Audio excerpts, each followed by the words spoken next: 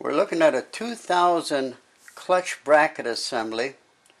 Uh, it's a, this is actually off my 7.3, but the V8s are the same.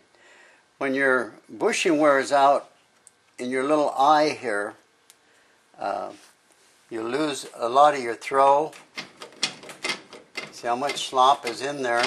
You lose that throw, and then your clutch won't in, uh, in disengage and you, you just don't have the travel to get your rig in gear. So we're going to show you how to put that permanent fix on there. We're going to show you how to cut this off, grind this little weld off here, knock that pin out of there, and uh, put the uh, permanent fix eye on there. So what we the bracket is held in with two 13 millimeter on the top, two 13 millimeters coming back from the firewall. And here you have your, your start switch. This here switch here, you have to remember how you take it out, put it back like you took it out. It's got a little clip in there that holds it there. It just slides off from the shaft. There's no big deal. So what we're going to do is, is, show you how to get this this uh, spring out of here.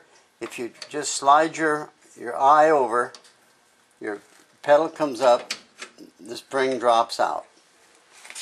Then if you go around the back of your firewall and you just turn, grab a hold, grab a hold of the uh, cylinder on the back side, turn it clockwise, and it comes out.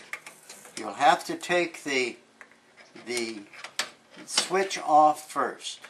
That just lifts up. Get around here, I get a hold, lifts up off the back and comes off like that.